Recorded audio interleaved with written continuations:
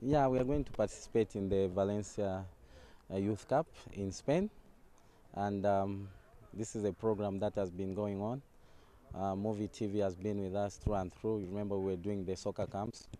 Uh, it was all for purposes of developing the players. Now we want to go see at what level we have developed, and uh, we chose Spain because um, Spain is very good at soccer. So that's why we're trying to go and gauge ourselves. And after we come back, we plan. I don't expect us to have a cultural shock or what. Zambians adapt within 20, 30 minutes, so it's all systems go.